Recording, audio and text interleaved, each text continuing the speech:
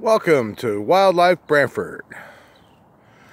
Well, this is the new Goose Bay Island. At least that's what I'm calling it.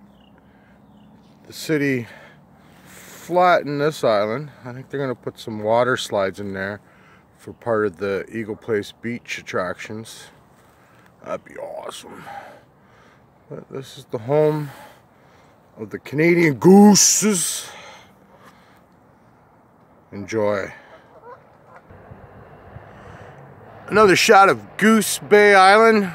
The gooses are loving it. They're all part of the homeless shelter plant too. And this is more shots of Goose Bay Island. Um, I really want a petition to help save the destruction of Goose Bay Island. I believe this is the new Brantford Canal. We'll call it the Goose Duck Lodge Streamway. I hope they put some attractions on that thing. Other than ice jams. Thanks, Cambridge. Now, in this documentary, here's the entranceway where the terrorists blocked off everything nicely and brought their equipment in to rape Goose Island Bay, Goose Bay Island.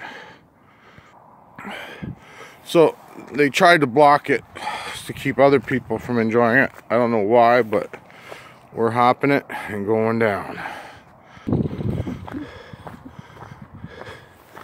This is going to be a great expansion to Eagle Place Beach. Oh, we got wild cats running in the wildness here.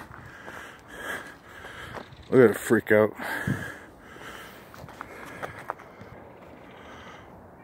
Wish I had my better camera, but that's a gray heron way over there that this thing can't zoom in. I'll probably scare it away by mistake. Unless it lets me talk to it. Let's go talk to it.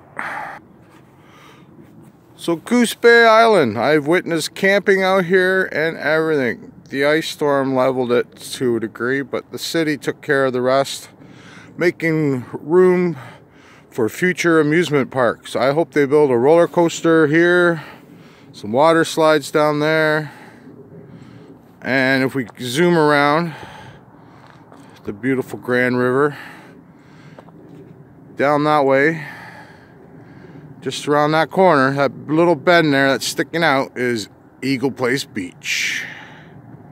Whoa! White Sands coming in 2019.